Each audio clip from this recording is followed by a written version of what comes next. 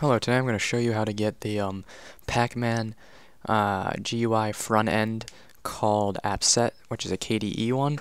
Now, there's other ones besides KDE for X11 in general and um, GNOME slash GTK, and I'll put a uh, link in the description of where you can look up these other ones. Uh, I've tried another one called KPackageKit for the KDE, and I didn't really like it, so I did AppSet. Now, to get AppSet, I'm going to go into terminal, type Yaourt AppSet. I would recommend getting the Yaourt uh, package thing. Go to the Arch Wiki and look it up.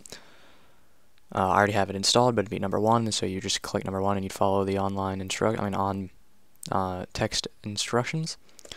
And now I have AppSet already installed, and I'll show you that um, what it's like. It's kind of like an Ubuntu like software center slash update manager all combined into one but it doesn't look exactly the same. It's the same idea.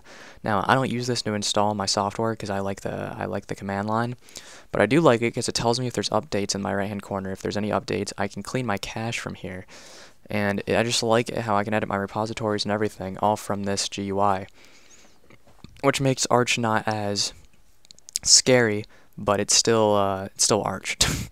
so um, I really like this. I think everybody that should, I mean, not everybody, but I think people that are more used to Ubuntu and stuff that switch to Arch should have a program like this. Like I said, it's very useful. And, um, well, that's all I got for right now. And uh, look back at my videos for more and uh, leave a thumbs up if this helped at all. So thank you.